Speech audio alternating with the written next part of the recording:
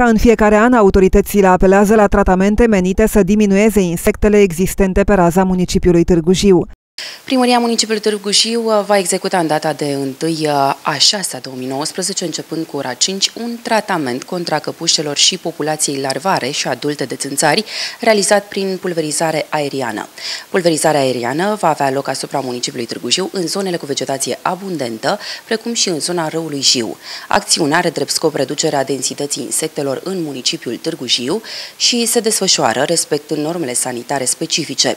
Substanțele folosite la dezinsecție protecție sunt avizate de Ministerul Sănătății și nu sunt dăunătoare oamenilor și animalelor. De asemenea, solicităm apicultorilor luarea măsurilor necesare pentru protejarea albinelor. Tratamentul împotriva căpușelor va fi aplicat doar dacă vremea va permite.